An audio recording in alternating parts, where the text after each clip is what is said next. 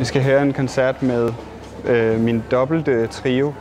Den er dobbelt, fordi der er to bassister og to trommeslager. Og så, øh, og så har vi lige lavet en ny plade med det band, så det passer meget godt. Vi skal spille musikken fra den plade, og så fra vores forrige plade.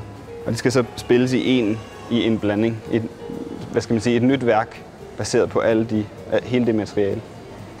Min musik er faktisk sådan en slags mærkelig blanding mellem, at den er, øh, den er noget af den er, er helt improviseret, fuldstændig improviseret, uden oplæg, og noget af det er sindssygt øh, specifikt, hvad folk skal spille. Så det er sådan lidt, øh, det er sådan lidt en særlig, sådan lidt en særlig slags blanding af de to ting. Man kan på en måde sige, at øh, for det meste, så ved musikerne lige præcis, hvornår de skal spille det, de skal spille. De ved bare ikke lige, hvad de skal spille. Det er lidt, det er lidt sådan, det er lavet.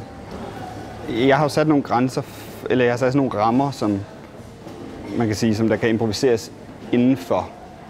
Så nogle gange så giver jeg tegn til, at der skal ske noget nyt.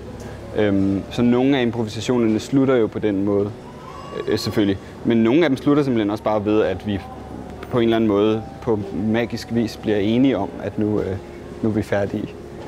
Øh, men det, altså, det er jo noget, vi har øvet os på i, i mange år, ikke? altså spille på den her måde. Det er ligesom...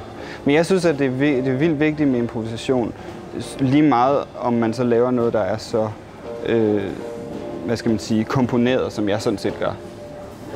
Fordi at, øh, at, at hvis musikerne får lov til at improvisere, så, øh, holder, altså, så øh, holder det musikken frisk. Ligesom.